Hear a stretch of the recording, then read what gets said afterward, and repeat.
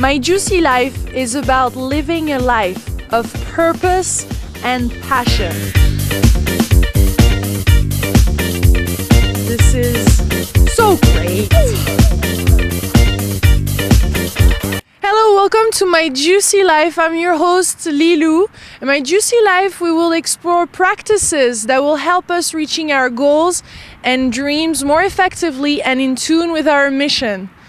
In our last episode, we saw how journaling heals our life and help us manifest our dreams. As Sandy Grason, best-selling author of Journalution, was pointing out, meditation combined with journaling is a powerful tool. So today we are going to look at some simple breathing, meditation and yoga techniques we can apply in our life to make it juicier.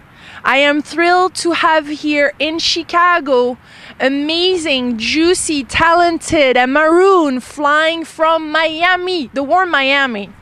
So we're here in windy and cold Chicago.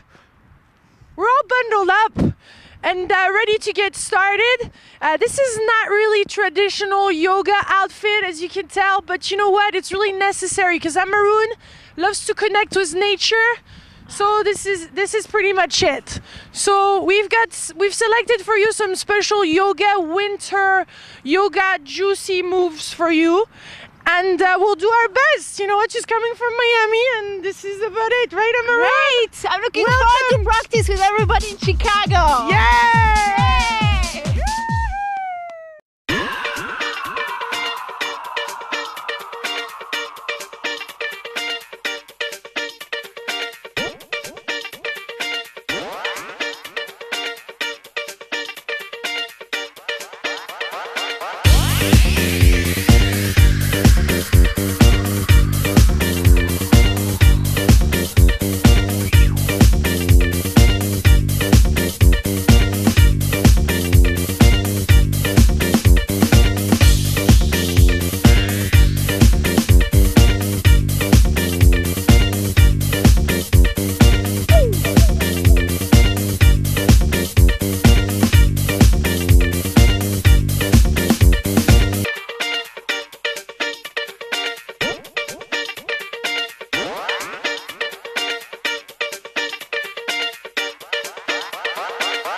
Amarun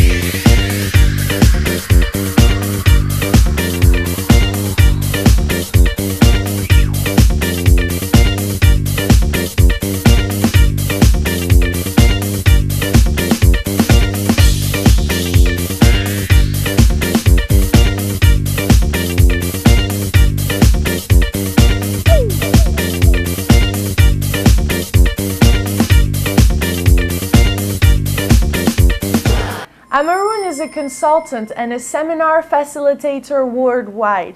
She affects powerfully and positively people and guide them to unleash their true potential through various tools she developed during her studies and experiences on the five continents.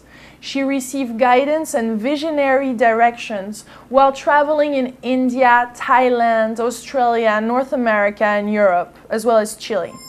Her methods include energy work, handwriting analysis, reflexology, yoga, and samkhya dance, as well as life coaching.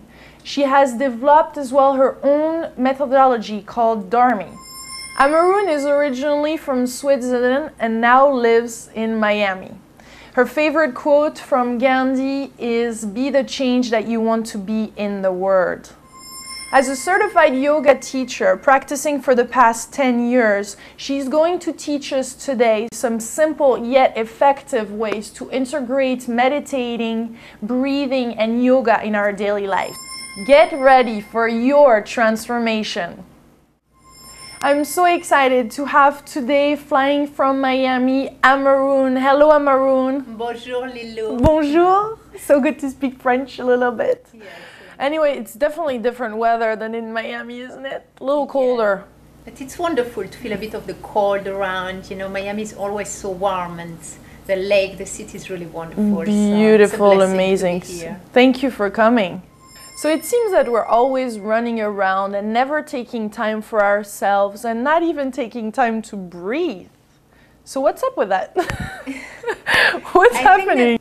I think that people sometimes they forget to breathe mainly because the breath is very much measured by the nervous system in the body. So the way our nervous system is functioning, many times when we get stress in our life and we have a lot of work and the kids and the family to take care of and so much going on, that then we're like, we forgot the breath because as the nervous system is not so balanced also and the rhythm of our life is not anymore balanced really with our body and our inner self so that make us like really of forgetting to breathe.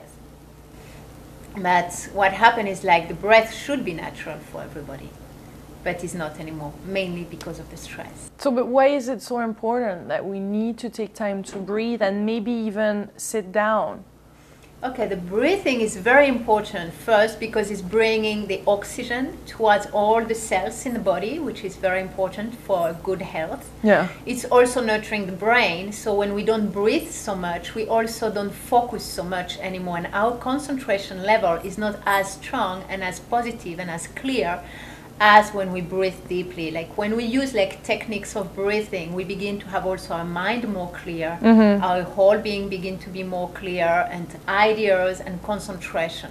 So it's really a lot for the mind, but it's also a lot for our health and the physical health, even for the digest system, because the breathing is also making like the ribs moving, so it's also creating a massage towards the digestive system, mm-hmm. diaphragm the heartbeats. So it's really key for our life and it's very important, it's empowering. Mm. So, what are the, some simple, easy breathing techniques that um, some of our viewers can apply in their life? Inhaling and exhaling through the nose. Okay.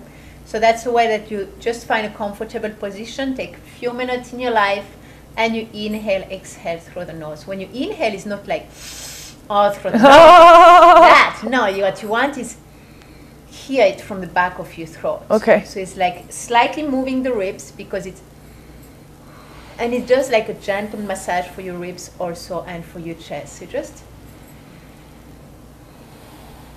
there is another way. It is also circular breathing that they use more into the vipassana meditation, but that's already like breathing and meditation. Mm-hmm. But it's inhaling through the nose. Okay. You bring the air up to the top of your head then you bring the air all along the spine on the back, and as you exhale, you exhale through the mouth, and it comes like forward. So it's like like a circular breathing. So you have to even like imagine and feel the air coming from the nose, top of your head, all along the spine, and then as you exhale, very soft, gentle. Feels good. And it's like a very good circular breathing. So people can just practice. Yeah. Try the nose, try nose and mouth, and experiment. There is another way that is called the breath work.